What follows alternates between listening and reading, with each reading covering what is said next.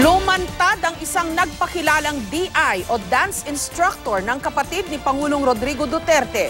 Kasunod yan ang pahayag ni na retired Police Arturo Las Cañas at Edgar Matubato na kabilang sa mga pinaslang ng Dimanoy DDS o Davao Death Squad ang DI o dance instructor ni Jocelyn Duterte.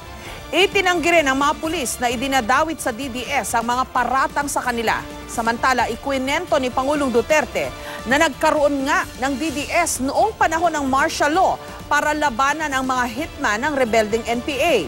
Pero wala raw siyang kinalaman dito. May report si Victoria Tulad. nasa loob ng kanyang pickup. Sa kanilang pahayag sa Senate hearings, sinabi ni na retired SPO3 Arturo Las Cañas at Edgar Matubato na kabilang daw sa mga pinatay ng Davao Death Squad ay ang dance instructor ng nakababatang kapatid ni Pangulong Rodrigo Duterte na si Jocelyn. Noong 2013 daw pinatay ang DI. Paano niyo po siya pinatay sa Maakwari? Ah, binigti ma'am tapos sinaksak. Kinuhaan namin ng damit tapos sinunog namin tapos pinutol-putol yung katawan. Na yung sinabi ni Edgar na inabdak yung isang dance instructor. Ito po ay totoo. Instruction ni SPO Porsane Binibintura. Niloko nito ang kapatid ni Mayor na si Jocelyn. Gumawa kami ng operation. For several days, na-abduct namin yung tao. Isa si Edgar doon kasama. Dinala sa quarry ni Binlaon. At dito nilibing. Parehong walang ibinigay na pangalan o anumang pagkakakilanlan sina Matubato at Las Cañas tungkol sa naturang DI. Pero kanina, lumutang ang isang lalaking nagpakilalang siya umano ang dance instructor ni Jocelyn Duterte. Siya ang buhay na buhay na si Ruben Borja Baguio, edad 45. 34 years old pa lang daw siya ay kilala na niya si Jocelyn na kung tawagin niya ay Mom C. Sa kanyang Facebook page, may mga naka-upload pang picture na magkasama sila ni Jocelyn. May picture din siya kasama ang ina ni Senador Manny Pacquiao na si Mommy Jonisha na kilala ring mahilig mag-ballroom dancing. Kasi ako lang yung isang DI ni Ma'am Jocelyn Duterte na kasayaw niya dito sa Davao. 2007 hanggang up to now.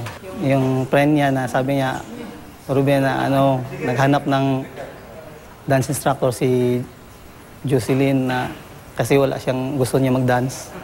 Yung Sabi ko, ah sige pwede, walang problema. Hindi raw totoo na may relasyon sila ni Jocelyn. Parang ina na kasi namin yan. Sobrang bait yan. Pag nagkasakit ang anak ko, nagalapit ako sa kanya. Sabi ni Baguio, kahit kailan ay walang nagtangka sa buhay niya at wala ring death threats. Hindi man daw siya pinangalanan ni Matobato at Las Cañas, minabuti niyang magsalita. Ah, wala po, lumabas lang talaga ako kasi para ma-clear yung ano, pangalan ko, saka pangalan ni Ma'am, C, ganun. Kasi ano din, parang naepektuhan din ako ba, mga anak ko, ganyan.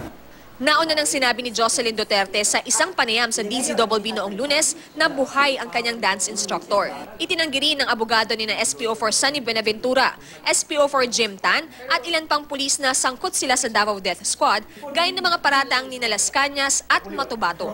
hindi na siya dapat ah, sumama sa Manila because he has a valid reason being kidney transplantee. Pero siya talaga nag-insist na pupunta ng Manila, mag-appear sa Senate to refute what Matubato alleged against him. Sabi niya, shadow binanatan ni Matubato eh.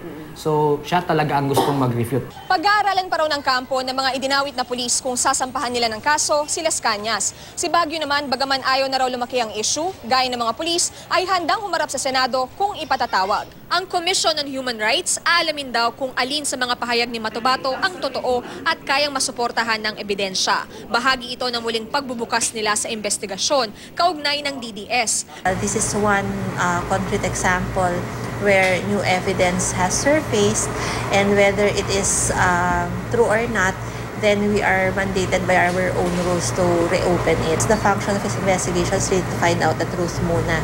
Kasama sa susuriin ang umano'y pamamaslang kina June Bersabal at sa mamamahayag na si June Pala na ayon kina Las Cañas at Matobato ay utos ni Nooy Davao City Mayor Duterte. Matatanda ang sinabi rin ni Las Cañas na ang dating Davao City Mayor ang lumikha at nagpapagalaw umano sa DDS. Itinanggi naman ito ni Pangulong Duterte. Pero kinumpirma niyang mayroon ngang DDS noong panahon ng martial law. It was a organized uh, to combat the yung Sparrow noon sa Davao. And you can ask the people, the old guys there. It was then known as the DDS uh, martial law. Yung nagbabanatan yung Sparrow pati Giit pa ng Pangulo, rather than sound to be apologizing for, I will answer for my misdeeds. And I can go to, I can rot in prison for the right. Uh, for the right accusation. Huwag naman yung basta itapon mo na lang. mula rito sa Davao City, Victoria Tulad, GMA News.